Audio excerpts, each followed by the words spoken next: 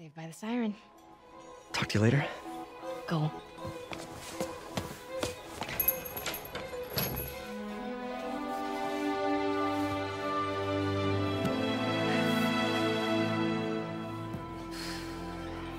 Love seeing you two together again. You always were my favorites.